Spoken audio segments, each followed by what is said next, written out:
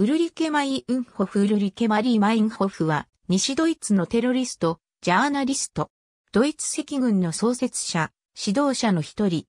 1960年代末から70年代初頭にかけてドイツ全土で銀行強盗、誘拐、爆破テロを行い、逮捕後、裁判中に極死した。オルデンブルク出身。父母ともに美術史研究家であった。父が家営なしの図書館に勤めることになり、同志へ両親と姉と共引っ越す。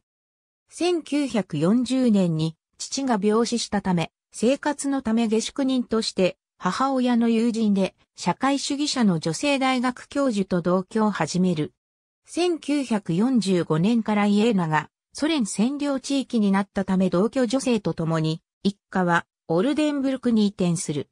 1949年に教師として働いていた母も癌で亡くし、その同居女性がマインホフと姉の後見人となる。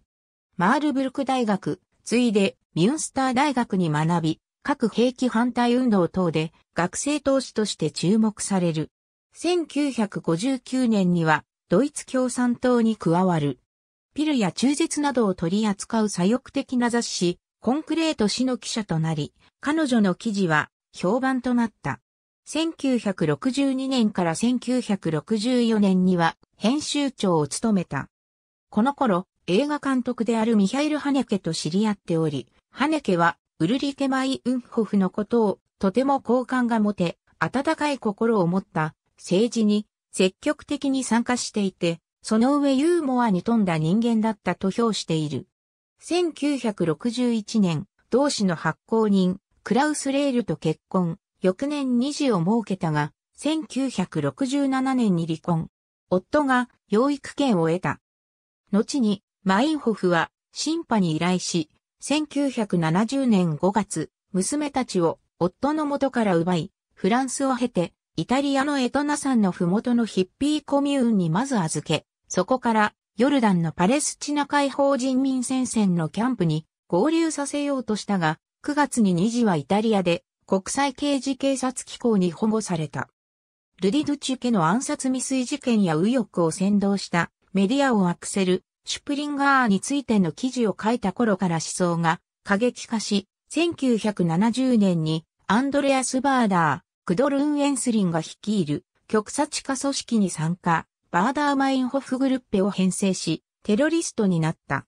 バーダーマインホフグルッペは、リーダーのバーダーとウルリケマイ・ウンホフの名字を合わせた名称だが、日本の赤軍派に触発されて1970年6月からドイツ語でドイツ赤軍を意味する RAF を名乗るようになった。マインホフは1970年にバーダーの脱獄を助けた後、ヨルダンのパレスチナ解放人民戦線のキャンプにて訓練を受ける傍ら RAF の理論的、思想的支柱として活動する。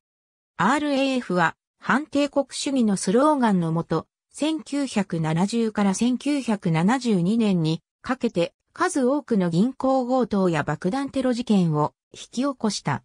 1972年に仲間と共に逮捕され、シュトゥットガルトのシュタムハイム刑務所に収監される。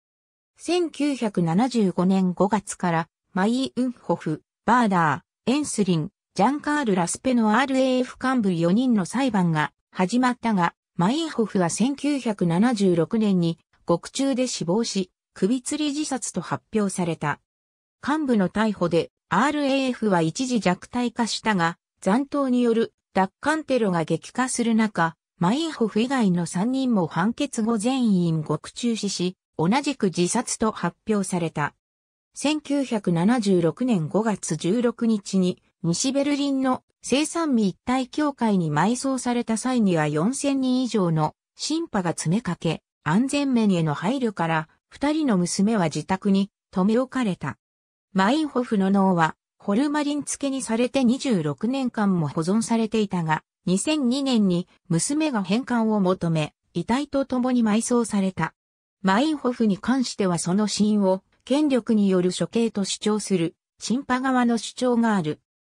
他に、冷静なジャーナリストがなぜ凶悪なテロリスト集団のリーダーとなったのかという議論に関して、双子の妊娠後に発覚した脳腫瘍とその手術の結果、脳に傷がついてしまい、そのことが原因で性格が変わってしまった、と、元夫と娘のベッティナ・レールは主張している。一方、手術を担当した医師はマインホフがテロリストとなる前に発表した論文でマインホフを匿名で紹介した上で完璧な手術だったとしている。ありがとうございます。